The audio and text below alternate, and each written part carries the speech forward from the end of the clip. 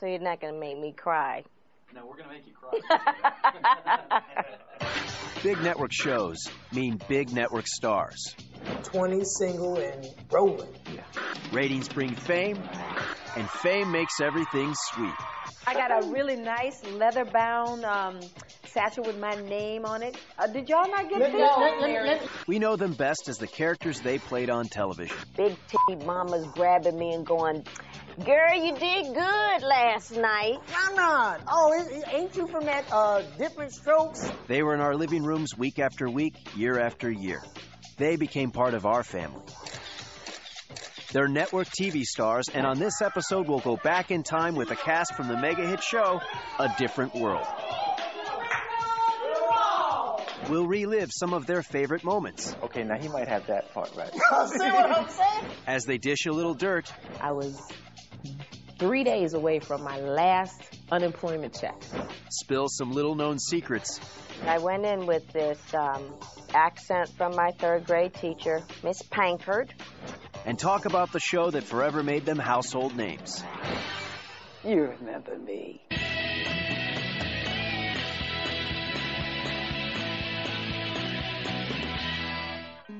A Different World premiered in 1987 as a spin off from the hugely successful series The Cosby Show.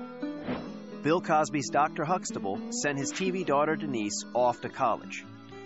The show was securely positioned between Cosby and Cheers in NBC's prize Thursday night 8:30 time slot. What do you think? I can work with this, can't I? A Different World was the first situation comedy to show life at a historically black college, focusing on the lives of the student body. The first season of A Different World starred Lisa Bonet, Dawnn Lewis, Marisa Tomei, Kadeem Hardison, and Jasmine Guy. The show tackled social and political issues rarely dealt with in television at the time. The audience was tuning in in droves. Twelve years after the final episode, the original cast got together to relive and rejoice in the series' success. We did this show for six seasons. We got very close. And I still feel very close to them all because we were transports into LA. I don't get a chance to see them very mu- very often because everybody's life has changed. It's you. I'm wonderful. How are you? Look how beautiful he is. And when we get together, it's like family.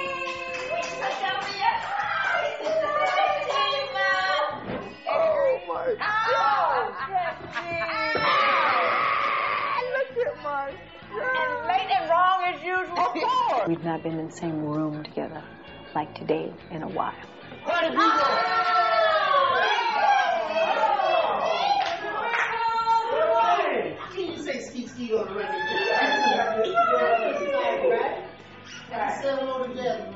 I loved that A Different World had a diverse cast.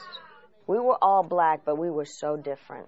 A Different World was a hit right out of the gate, almost always in the top five throughout its six year run. Must See Thursday was Cosby, A Different World, Cheers, Something Funny at 9.30, Wings sometime, and then L.A. Law. Oh, LA Law. That was Must See Thursday night. That's what set it off. The first season of a hit TV spin off is not unlike the first semester of college. Not as easy as you think. I think the level of expectation for us was really, really high because the level of excellence on the Cosby Show was really, really high.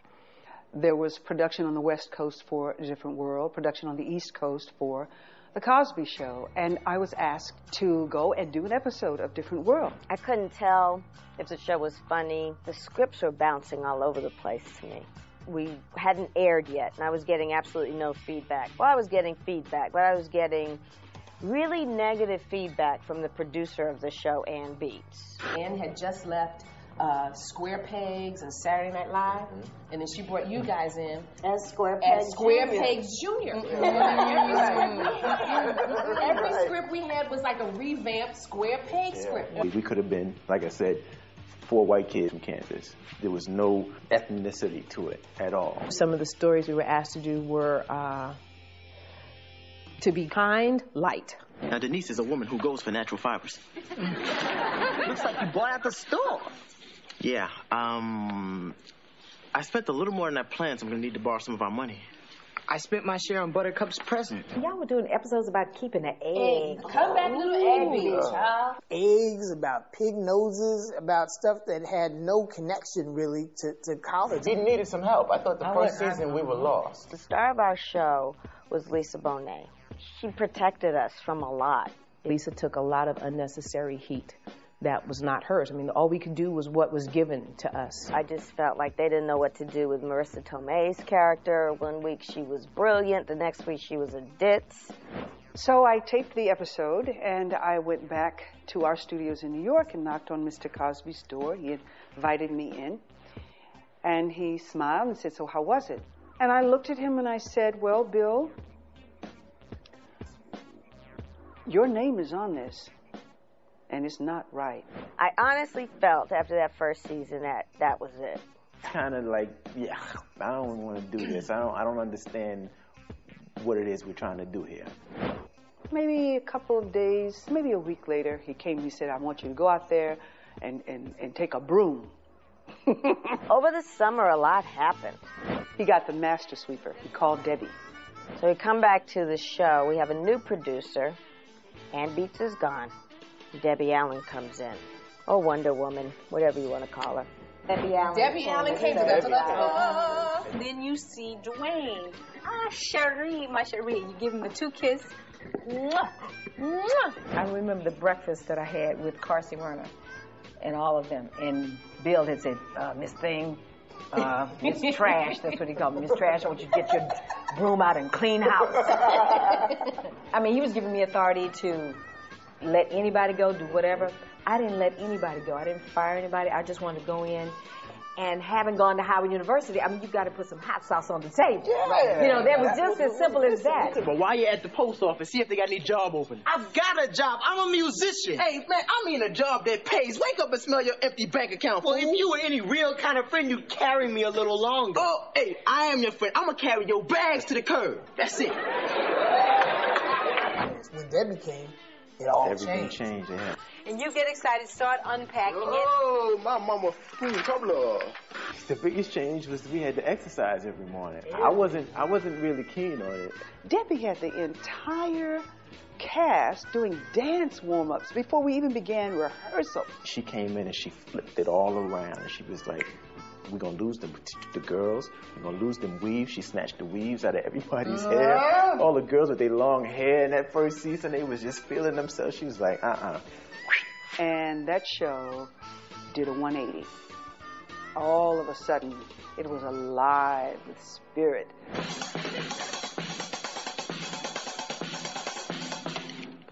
Keep playing, keep playing. We had a new leader, and it really became fun to go to work.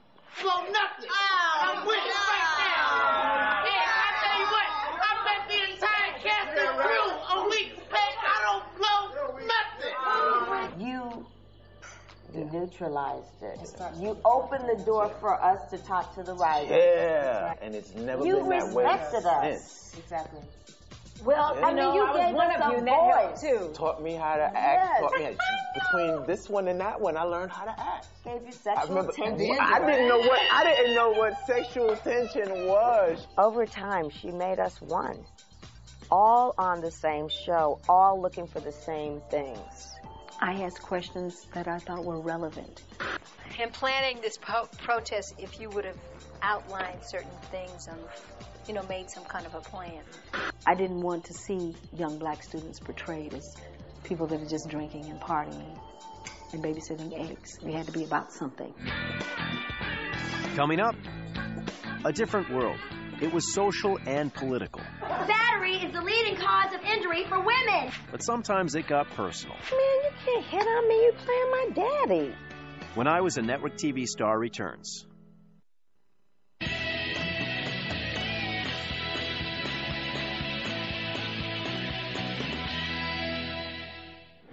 The second season of A Different World began without original cast members Lisa Bonet and Marisa Tomei.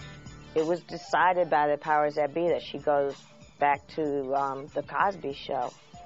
But there was a rumor And I have to preface this with a, was a rumor because I haven't talked to um, Dr. Cosby that he wanted to incorporate her pregnancy on the show and actually show the struggle of a young mother trying to get her degree, which I thought was brilliant. But of course, they didn't go that way. Jasmine Guy now led the ensemble under the creative direction of producer director Debbie Allen. I knew that the show had the potential to really do something really great. Battery is the leading cause of injury for women. It is time we call this what this is. My favorite work that was done on the show were shows like the apartheid show or the date rape show or the AIDS show that had heavy issues but were still funny and still entertaining because that's how life is. There's something I want you to have. It's a very important accessory necessary for the evening a condom. All the shows before, it had been comic, it had been, you know, sitcom The stories started to have real meaning. That was the spring of 1992. By the following spring, Josie Webb had died of acquired immune deficiency syndrome, disease we all know as AIDS.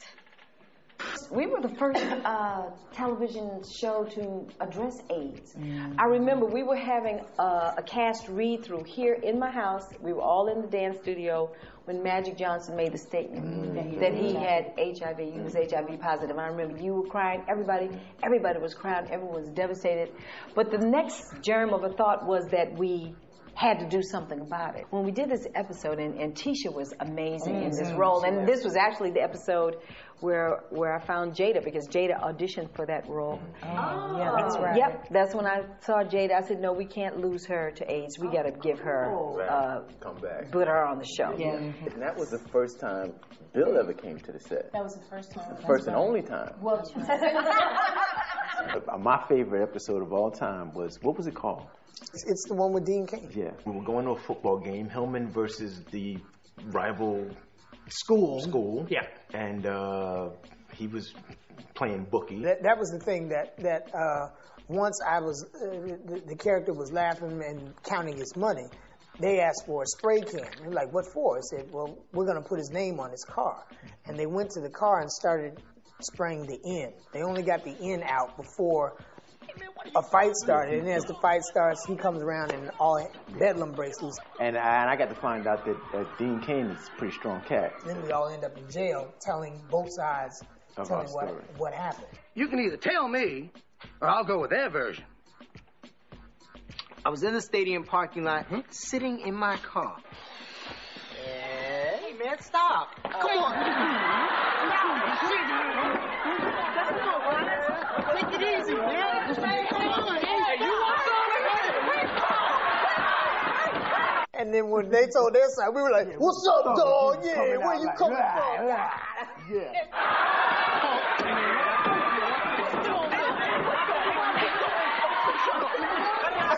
right. All of it was crazy. Yeah, that was that was easily.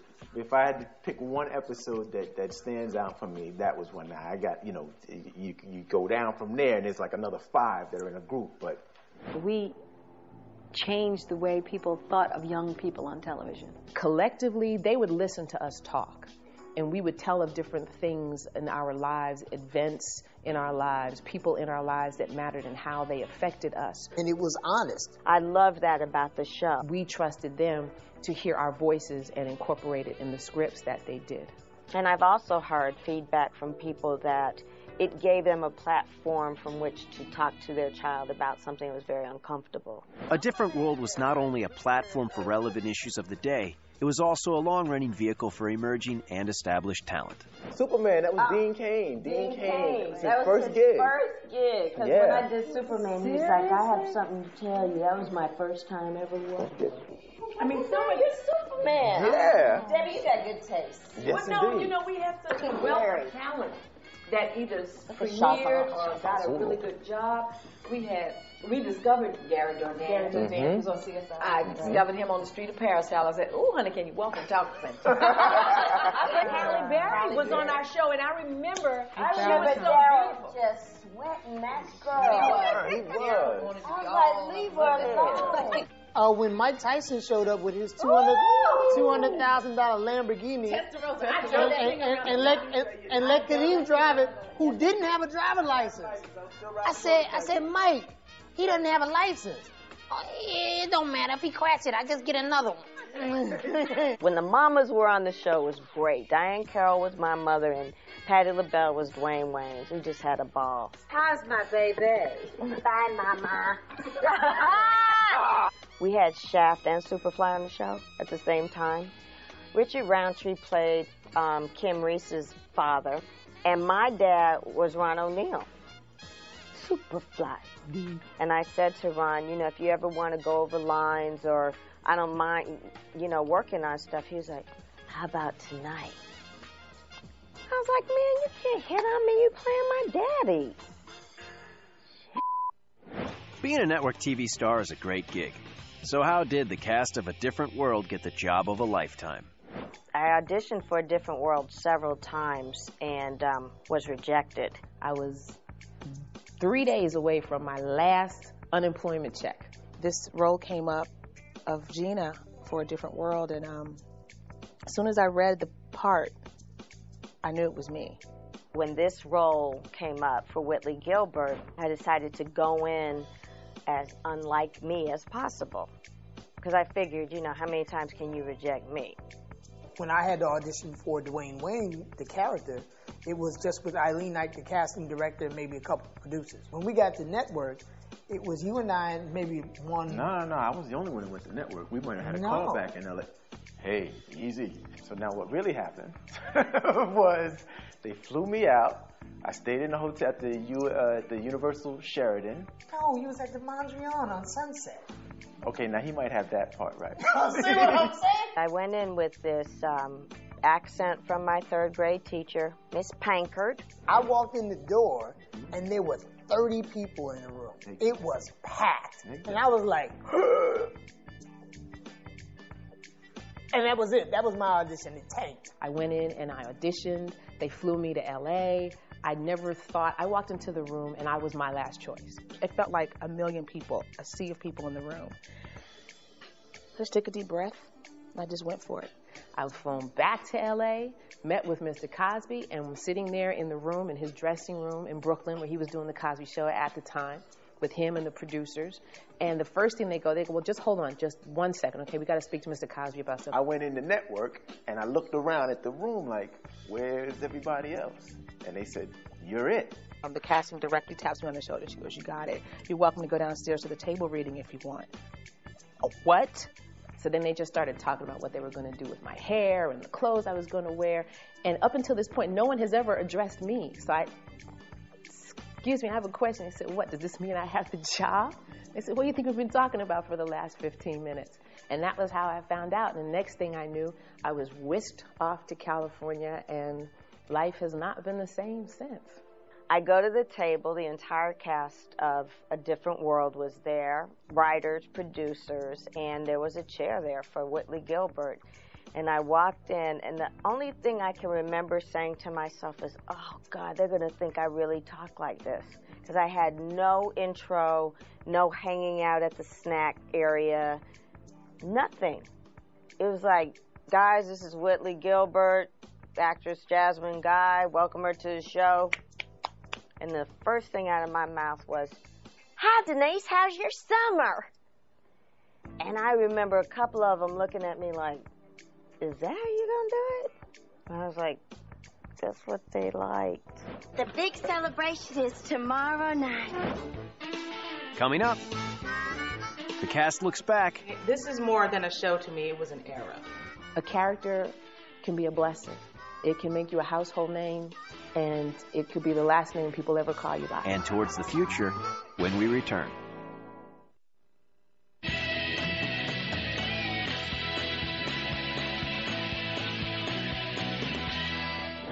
Six seasons, 144 episodes, and in the top five nearly every year it was on the air. A Different World ended its successful run in 1993. A different world made it possible for for me to explore avenues that I had only dreamed about. Being a network star can be tough.